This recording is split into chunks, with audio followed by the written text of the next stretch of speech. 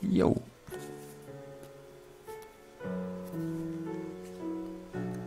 Das Laub braucht noch ein wenig.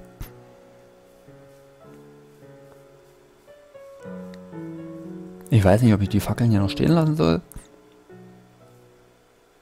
Damit die Birken vielleicht doch schneller wachsen.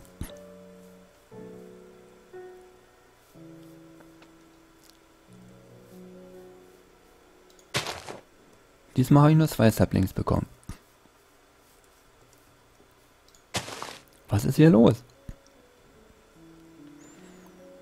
Was ist an Life in the Woods so anders?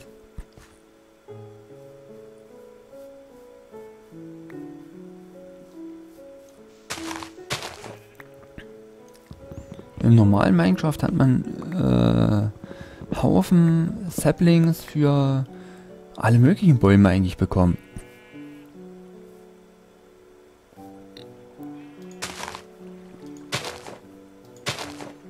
Eichen sowieso. Und äh, Birkensaplings hatte ich da auch immer. Viele.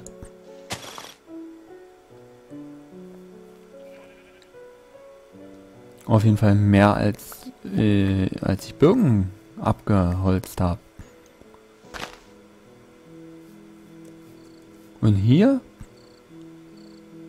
tue ich mich gerade ziemlich schwer, überhaupt meine äh, Birken zu vermehren. Ihr erinnert euch, ich habe da oben die eine äh, nur mal gefällt. Und die, die hat drei Saplings gegeben, um sie selbst wieder zu pflanzen und um zwei neue zu machen. Und jetzt hatte ich letztens äh, so lange gespielt.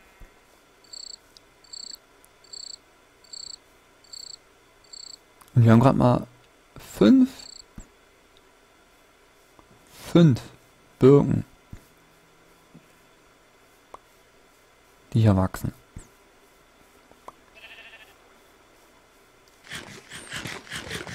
Lausige fünf Birken.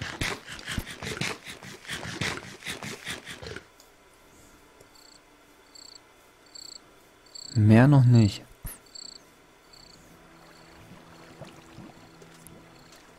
Ich hatte eigentlich gehofft, dass es mehr wird. Oh. Unser Eisen ist fertig.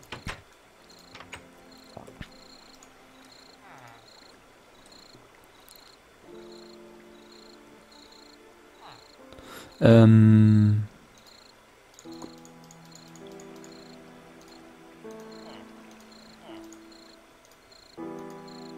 So. Gleich wieder ein bisschen Kohle machen.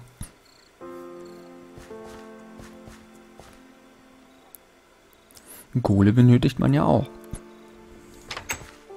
Was haben wir denn eigentlich an Weizen? 107.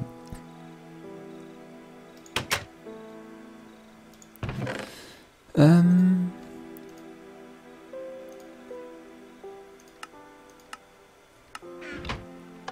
So.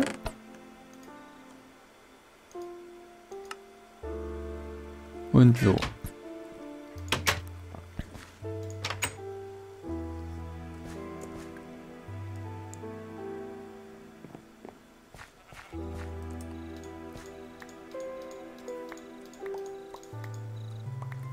Hier drüben fällt es nicht ganz so auf.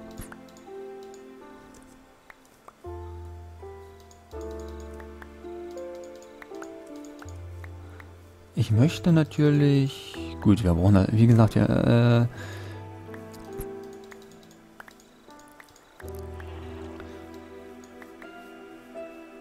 wir brauchen nicht das ganze Weizen, um uns zu ernähren. Sondern ich will es einfach aus ästhetischen Gründen haben.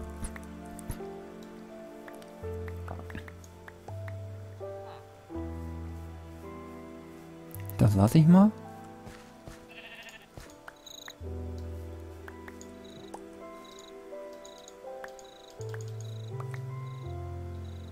Ich will einfach da drüben alles noch schön voll mit Weizen haben.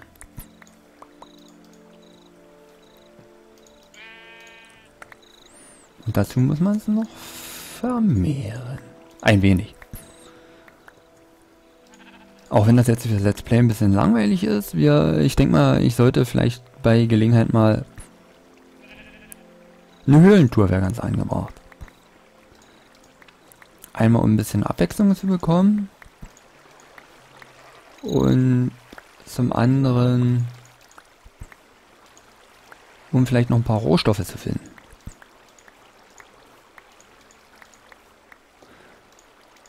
Und dann sollte ich vielleicht auch mal gucken, wie denn das nochmal mit den... Ähm, sag schon.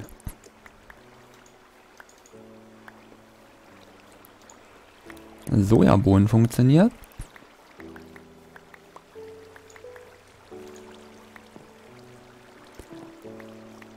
Damit ich daraus ähm, vielleicht ein paar leckere Burger machen kann.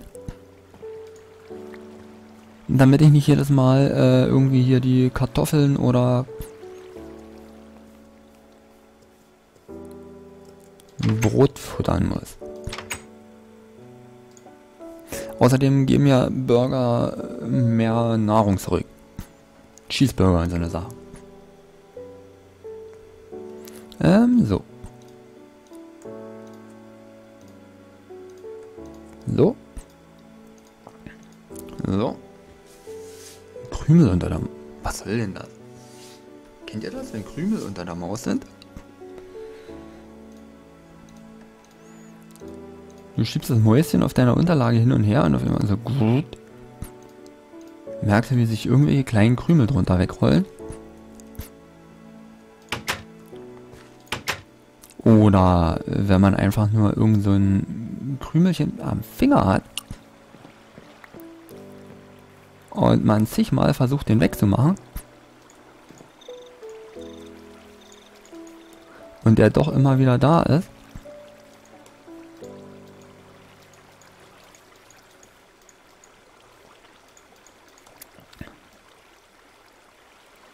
Total nervige Sache.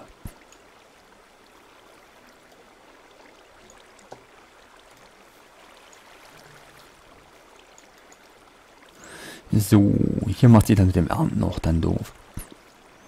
Ich habe schon gemerkt, wo ich hier mit der Hoe drüber gegangen bin, ehe man hier immer äh, jede Ecke so erreicht. Das ist einfach...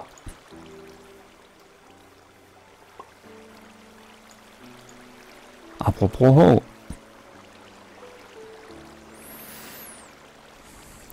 Sie liegt zu Hause.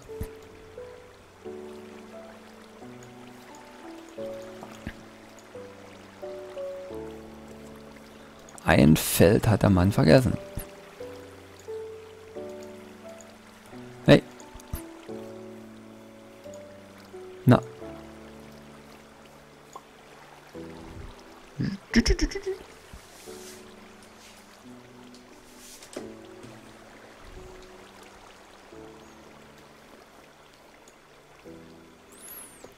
Außerdem habe ich eine neue Maus.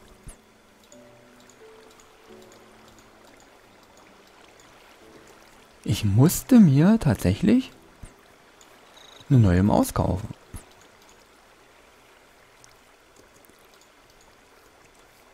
Das Problem bei der alten war, ähm, die war auch erst anderthalb Jahre alt. Gut, das war jetzt nicht das Problem. Ähm, aber ich hatte schon von Anfang an gemerkt gehabt, das Scrollrad ähm,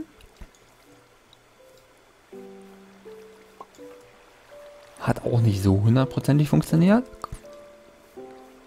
Es hatte manchmal so die Anwandlung, ähm, man hat irgendwo zum Beispiel hochgescrollt und dann ähm, das Rädchen nochmal minimal bewegt gehabt und da ist man gleich wieder ein Stückchen runtergesprungen. Und vor nicht allzu langer Zeit, ähm, jetzt in den letzten, ähm, wie war denn das?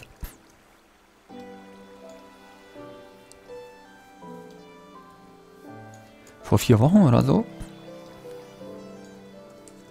Vor drei Wochen. Habe ich bei Dead by Daylight gemerkt. Ähm,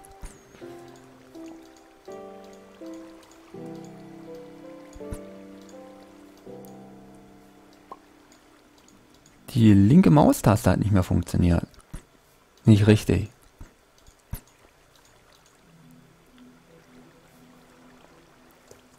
Sprich, bei Dead by Daylight hat sich äh, geäußert, indem man ähm, zum Beispiel, wenn man die Generatoren, muss man ja anklicken und eine Weile geklickt halten. Und die Maus hat da immer wieder zwischendurch losgelassen und wieder geklickt und wieder losgelassen und wieder geklickt. Obwohl man mit dem Finger eigentlich permanent drauf gewesen ist. Hast du gesehen? Hier unten drunter ist der Eingang zur Höhle, weil das hier offen war. Ja, weil, äh, weil das eben dann doch irgendwo nervig wurde, äh, hier ist mal irgendwo eine Position zu finden, wie die Maustaste permanent aktiviert bleibt. Und der sowieso noch Garantie darauf war, bin ich vor dem Wochenende beim, beim Elektroladen rangefahren, wo ich sie her habe. Ein großer deutscher Roter. Gut, aber deutsch, das weiß ich nicht. Ein großer Roter. Äh, Garantie war, wie gesagt, und wir haben ganz problemlos die Maus zurückgenommen. Auf die Schnelle hatte ich keine gute Alternative gefunden. Also erstmal Geld genommen und dann war ich jetzt am Montag nochmal gucken.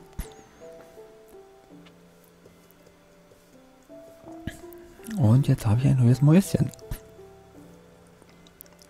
Die äh Steel Series Rival 100.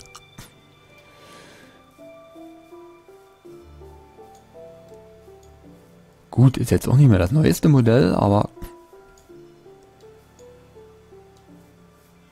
das Mäuschen ist weiß. Also unten schwarz, obenrum äh, weiß.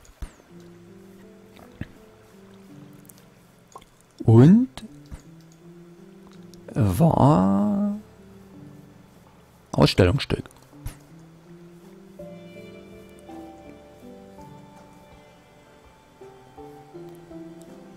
Dadurch habe ich sie für 27 statt für 34 Euro bekommen.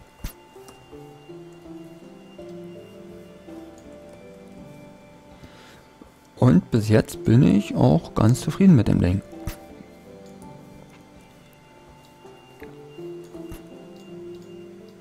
Ich bin da jetzt auch weniger nach den ähm, weiß ich, Eigenschaften von der Maus gegangen. Also nicht, nicht überwiegend jetzt nach irgendwelchen Besonderheiten. Ich dachte einfach, ja, Steel Series passt zu meiner äh, Laptop-Tastatur. Ist auch eine Steel Series, hat de äh, dementsprechend mit Beleuchtung einstellbar und dachte ich, gut, da passt die Maus dazu, da kann ich, die, äh, kann ich direkt auch die Farbe, Leuchtfarbe und sowas mit einstellen. Ja.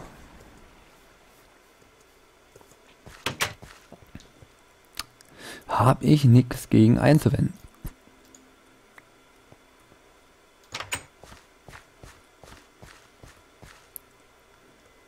So.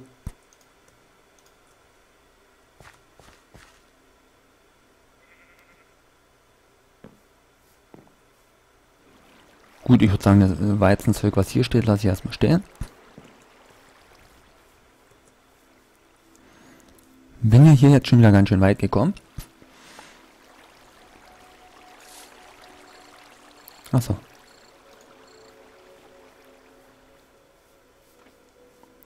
Und dann werde ich wahrscheinlich hauptsächlich den Weizen von hier hinten verwenden, um die Fläche hier zu vermehren oder Oder ich könnte natürlich auch vorne nochmal abernten und den verwenden. Ach, guck mal hier.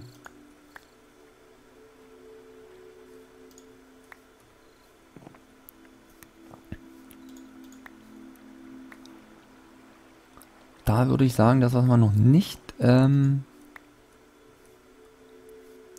voll haben im Lager, Kann ich noch abernten. Also nochmal Kaffee mitnehmen, nochmal Tee mitnehmen. Wobei, Ich lasse es dann nochmal wachsen. Hm. Mist.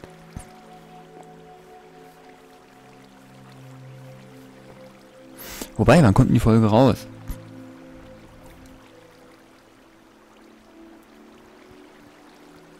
Kommt da, glaube ich, erst. Nächsten Montag. Ähm, bis dahin kann ich ja Minecraft noch mal ein bisschen spielen. Denn ich möchte gern äh, für das Thumbnail ein schönes Bild. Oh, Entschuldigung. Ein schönes Bild hier von dem Dörfchen machen. Wo alles schön zugewachsen ist.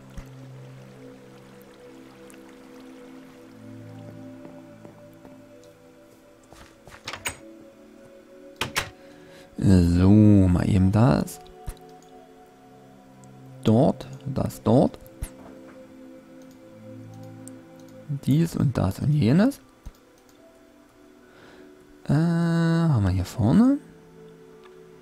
Haben wir da. Und Kaffee haben wir da. Wie viel haben wir? Ein Kaffeehag. 112. Pineapples können wir noch für eine Menge machen und Blackberries. Karotten waren voll, Potatoes sind auch voll, Scallion gehen noch und Tea Leaves haben wir auch fast voll. Muss ich bald wieder ein paar neue Dinger machen.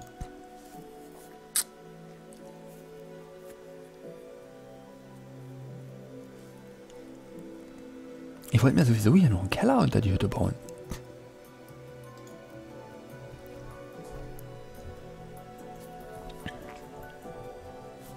Ich hatte überlegt,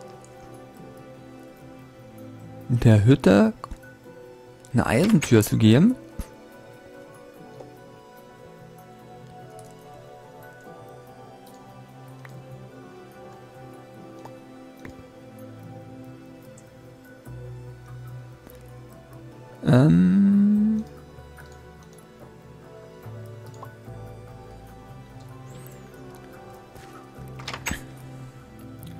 Eine Eisentür dran bauen und einen Carpenter-Sensor.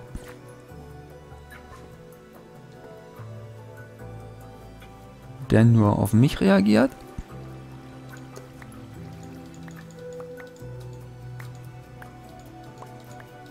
Damit hier keine Dorfbewohner mehr in mein Häuschen reinkommen. Weil wer hat schon gerne äh, fremde Leute in seinem Häuschen.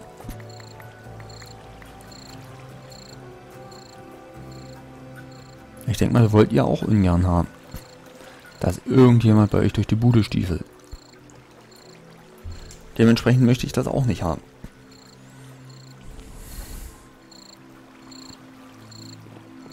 Mir tut gerade das Genick ein bisschen weh. Hocke ich ja so scheiße rum. Mal bequem hinhauen. Könnte mal.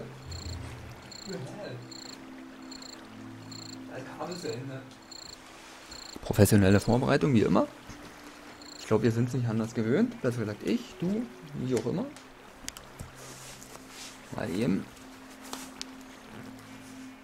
So.